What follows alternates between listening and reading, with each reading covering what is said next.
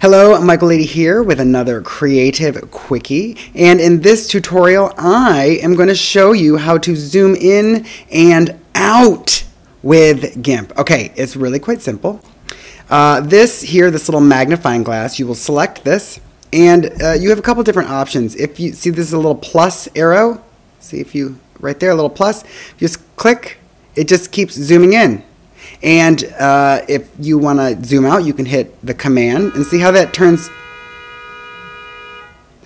Someone is impatient.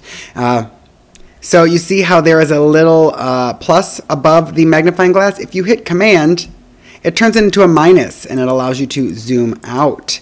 Another way you can zoom in with GIMP is if, let's say, I just want to look at the word heard.